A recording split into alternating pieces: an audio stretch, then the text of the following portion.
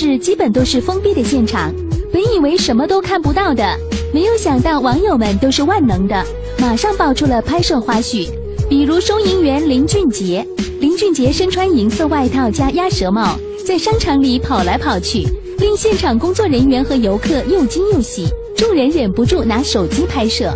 而他换上工作制服，站在收银机前，又戴眼镜，拿起扫码机当麦克风，立刻就清唱《小酒窝》，现场瞬间变成了演唱会，网友疯赞好听到不要不要的。再比如新加入跑男的热巴一脸的兴奋，不过最近倒是有一些手机录制的照片曝光了。从一些照片来看，迪丽热巴的确有些形单影只。怎么说呢？那就是在车上的照片。似乎只有迪丽热巴是一个人坐在最后的一排的，这样的一个细节也被一些网友拿出来放大来看了，甚至有人表示，这再次的证明了跑男在排挤迪丽热巴。热巴是刚刚进去的小妹妹，大家应该是非常喜欢的才对，至少也要稍微照顾一下呀。但是在画面中的热巴却自己一个人坐在后面，真的好可怜啊。还好这期节目陈伟霆也来参加了。大师兄一定会好好的照顾小师妹的吧？话说陈伟霆也只能趁着 baby 不在的情况下来参加跑男了，理由大家都懂的。胖妞的观点是，迪丽热巴首期录制形单影只，看来要打入跑男内部还需时日。为何呢？因为之前的女嘉宾是杨颖，是一个有男友的女星，所以大家可以尽情的玩，不会有什么。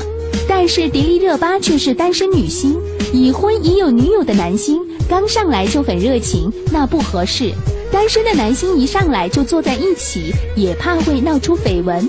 从这样的角度来分析，迪丽热巴第一期录制形单影只其实很正常，因为她还没有融入这个群体。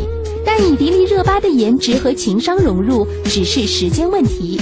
至于其他的，则没有必要过度的解读。胖迪毕竟是新加入的女嘉宾，和其他人应该不大熟悉。人和人的相处都是有一个磨合期的过程呢。所以讲讲大家最爱的男嘉宾鹿晗在一起表现好了，重点是一只星星，一只被鹿晗牵手的星星，总感觉鹿晗和星星的相处十分的和谐和融洽。傻狍子牵起星星的手，就笑得根本停不下来。要是鹿晗这笑容面对的是广大的网友，不知道多少少女要沉醉了。不管哪个角度，牵到星星的鹿晗都是满脸的笑容。而网友们看到这画面，也是纷纷调侃起鹿晗来。